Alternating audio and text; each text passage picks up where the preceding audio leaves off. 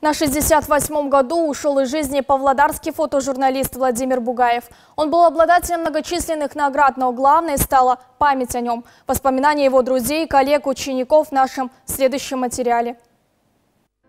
Ветеран казахстанской журналистики Юрий Поминов учился с Владимиром Бугаевым на факультете журналистики КАЗГУ. Они десятилетиями вместе работали в областной газете «Звезда Приютышья». Юрий Дмитриевич уверен, Владимир Бугаев был знаковой, уникальной фигурой журналистики Приютышья. Его всегда отличал высочайший профессионализм, высокая требовательность к профессии.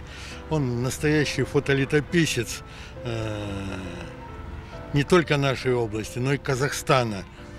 И без него история фотолетописи Казахстана, история журналистики Казахстана никогда не будет полной.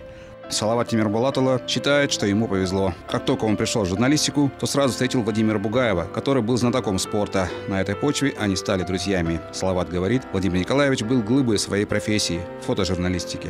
Мог уловить э, такие детали, моменты, может быть, это огромный репортаж какой-то, но это маленькая-маленькая деталь, которую он заметит, бегая в поле, передаст всю атмосферу. Печальное известие о Владимире Бугаеве стало ударом, признается Салават.